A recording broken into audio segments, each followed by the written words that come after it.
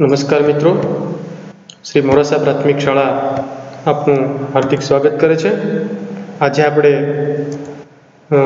વ્યાકરણ વિભાગની અંદર ગુજરાતીમાં સમાસ છે, એની સમજ છે કેળવશું. મિત્રો, સમાસ એ ખૂબ જ મહત્વનું અંગ છે. અને આપણા અભ્યાસક્રમની અંદર તો એકથી બે પ્રકાર છે. પણ મેં અહીંયા બે વિડિયાની અંદર બધા જ પ્રકારોની સમસ્યા પ્રાપ્ત કરી લીધી પ્રાપ્ત આપી છે. પહેલા વિભાગની અંદર ચાર પ્રકાર જોશું અને બીજા વિડિયાની અંદર બીજા ચાર પ્રકાર જોશું. તો આપણે પહેલા એના અર્થનું અને એ સ્પષ્ટ સમજીએ. તો સમાસ એટલે શું? તો અહીંયા જોઈ શકો છો કે જુદા જુદા અર્થવાળા, અલગ અલગ અર્થવાળા બે કે તેથી વધુ શબ્દો. જોડાઈને એક નવા અર્થવાળો શબ્દ બને તેને સમાસ કહે છે મિત્રો, અલગ અલગ જે શબ્દો હોય છે, અલગ અલગ શબ્દ જૂથ હોય છે, એ ભેગા થઈ અને એક નવો જ શબ્દ બને એને આપણે સમાસ કહીએ છીએ?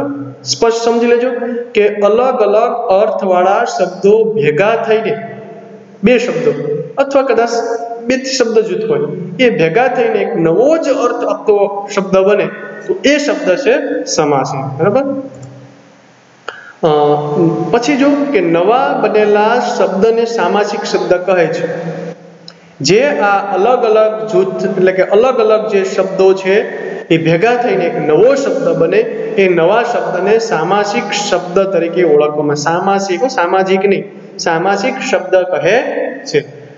સમાસ ઓળખવા માટે. હવે કયા પ્રકારનો સમાસ છે? સમાસ તો બની ગયો કે બે અલગ અલગ અર્થવાળા શબ્દો ભેગા થઈને એક શબ્દ બન્યો તેને સમાસ આપણે કહીશું.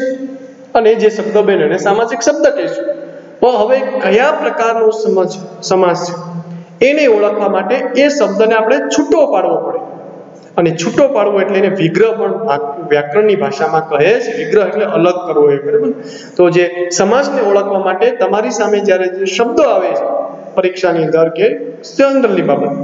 કે કયો સમાસ છે? તો એને પહેલા આપણે જુદો પાડવો પડે. કારણ કે સમાસ તો શેનાથી બનેલો છે. બે અલગ અલગ શબ્દોથી બનેલો છે. અને એક શબ્દ બન્યો છે. તો એને આપણે અલગ કરશું તો આપણે સરળતાથી ઓળખી શકશું કે આ કયો સમાજ છે.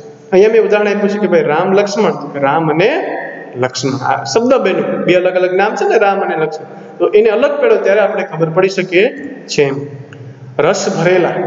બે શબ્દથી બનેલો છે. આ શબ્દ રસ ભરેલા. તો કે રસથી ભરેલા. પછી છે ઘોડા ગાડી. તો કે ઘોડા વડે ચાલતી ગાડી. તો અહીંયા જોઈ શકો છો રામ લક્ષ્મણ રસ ભરેલા, ઘોડા ગાડી. આ અલગ અલગ શબ્દથી, એટલે કે બે શબ્દથી આ શબ્દો નવો બન્યો છે. અને નવો બનેલા શબ્દ સામાસિક શબ્દ છે. ભાઈ કયા પ્રકાર છે ઓળખવા માટે આપણે એને છૂટા પડે છે. તો હવે આપણે એ ઓળખવા માટે આપણે સમાસના જે પ્રકાર છે એ પ્રકારની સમજ છે આપણે પ્રાપ્ત કરવાની છે. આ વિડિયાની અંદર આપણે ચાર સમાસના પ્રકાર છે. ટોટલ આઠ પ્રકાર છે. પણ આ વિડિયાની અંદર આપણે ચાર પ્રકાર છે એની સમજ છે પ્રાપ્ત કરશું. સૌ પ્રથમ છે દ્વંદ્વ સમાસ. આપણા અભ્યાસક્રમમાં પણ છે મિત્રો. દ્વંદ્વ સમાસ. નામ જ દર્શાવે છે દ્વંદ્વ બે. બરાબર ને? તો જોઈએ એની સંકલ્પના.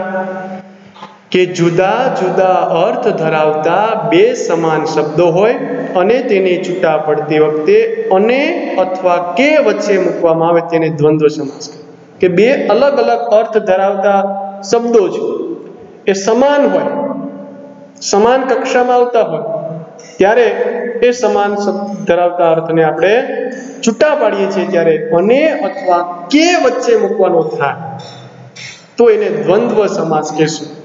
એટલે કે સમાજ ઓળખવા માટેનો વિગ્રહ કરવો ખૂબ જ જરૂરી છે.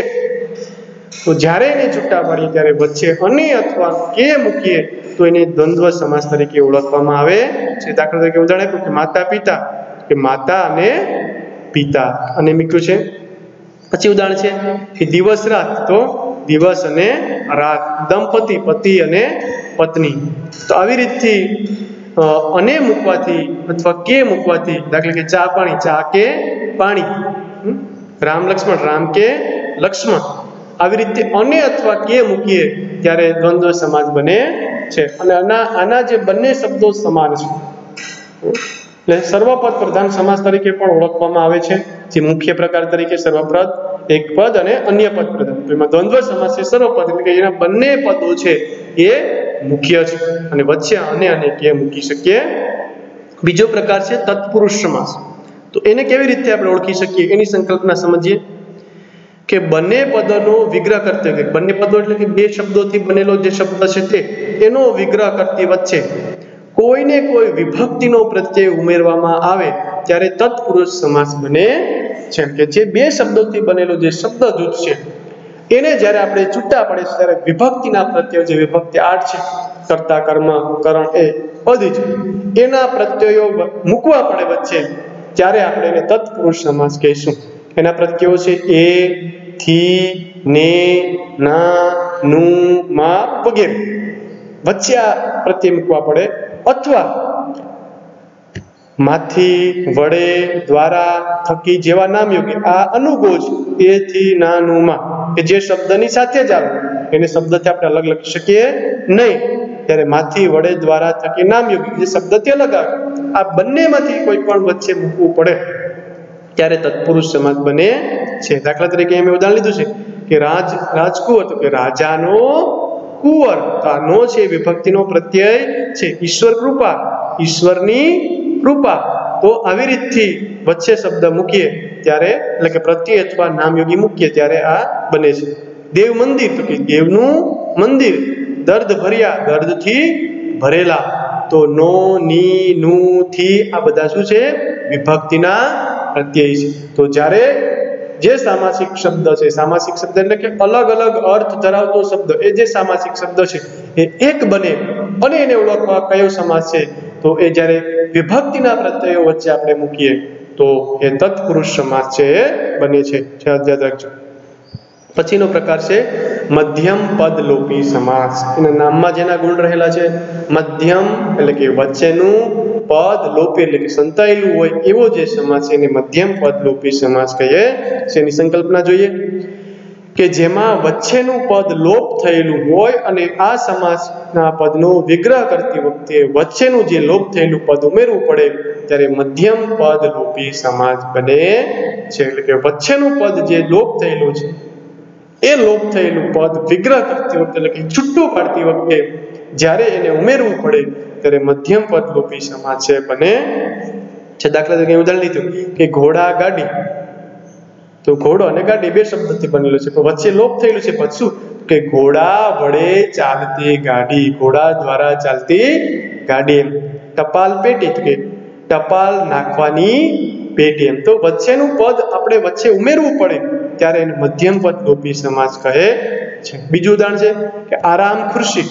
આરામ કરવા માટેની ખુરશી એમ. તો વચ્ચે જે પદ છે, ઉમેરીએ છીએ, ત્યારે મધ્યમ પદ લોપી છે સમાસ બને છે એમ. વાહન વ્યવહાર. વાહન દ્વારા ચાલતો વ્યવહાર. એવા બધા, એવા ઘણા બધા શબ્દો છે કે વચ્ચેનું પદ લોપ થયેલું હોય, પણ જ્યારે એનું વિગ્રહ કરીએ છીએ ત્યારે એ પદ ઉમેરવું પડતું હોય છે.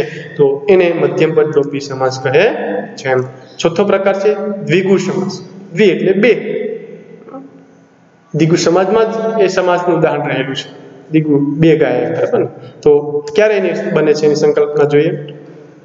કે જે સમાન પદ, પ્રથમ પદ, જે સમાનમાં સમાનમાં પ્રથમ પદ સંખ્યાવાચક વિશેષણ હોય, આમાં સમૂહનો ભાવ રહેલો હોય, તો આ પદનો વિગ્રહ કરતી વખતે પદમ પ્રથમ પદ સંખ્યાવાચક છે ઉમેરવું પડતું હોય. તો એને દ્વિગુ સમાસ કહેવામાં આવે, એટલે કે પેલું પદ છે બે પદ તો બનેલા છે, આપણે ખબર છે, શીખી ગયા કે સમાસ બે પદો ભેગા થઈને એક પદ બને એને સમાસ કહીએ. અને એ પદ બનેલું છે એટલે સામાસિક શબ્દ સામાસિક શબ્દ કહીએ છીએ. તો એને ઓળખવા માટે કયો સમાસ છે તો એને છૂટું પડીએ તેમાં જે પ્રથમ પદ છે, એ જો સંખ્યાવાચક વિશેષણ હોય, વિશેષણ આગળના વીડિયો આપણે શીખી ગયા અને વીડિયો તમે જોયા છે. નામનાર્થમાં જે વધારો કરીને આપણે વિશેષણ તો પ્રથમ પદ છે, સંખ્યાવાચક વિશેષણ હોય, ત્યારે દ્વિગુ સમાસ છે બને છે. જોઈએ, નવરાત્રિ તો નવરાત્રિનો સમૂહ. નવ છે સંખ્યા રાત્રિના અર્થમાં વધારો કરે છે. તો ચોમાચું ચાર માસનો સમૂહ. પંચવટી, પાંચ વડનો સમૂહ. ત્રિકા ત્રણ કાળનો સમૂહ. અહીંયા થોડું અર્ગ રહેલું છે, બરાબર? તો અહીંયા બધાની અંદર જે છે એ શું રહેલું છે? કે સંખ્યાવાચક વિશેષણ રહેલું હતું. એમ તમારા ખ્યાલ મુજબ ચારે ચાર પ્રકારો છે તમારે સમાજમાં આવી, સમજમાં આવી ગયા છે. અલગ અલગ શબ્દ વજૂદથી બનેલું એક શબ્દ બનીને સમાજ કહીએ છીએ અને એ પદ બનેલું છે કે સામાજિક સમ- પદ કહીએ છીએ. છૂટા પાડીએ ત્યારે સમાજનો પ્રકાર ઓળખી શકાય છે. સમાન પદ હોય ને વચ્ચે અન્ય ને કેથી છૂટા પાડી શકીએ તો એ દ્વંદ્વ સમાજ છે. જે સામાસિક પદ છે એને છૂટું પડતી વખતે વિભક્તિના પ્રત્યય એ થી, ની, નું, માં, માટે, વડે દ્વારાથી છૂટા પડે તે તત્પુરુષ સમાસ છે. વચ્ચેનું પદ લોપ થયેલું ઉમેરવું પડતું હોય તો મધ્યમ પદ લોપી સમાજ છે. અને પ્રથમ પદ સંખ્યાવાચક વિશેષણ હોય તો એ દ્વિગુ સમાજ છે. મારા ખ્યાલ મુજબ આ ચાર પ્રકાર છે. તમે સમજી ગયા છે બીજા ચાર પ્રકાર છે. બીજા વિડીયોની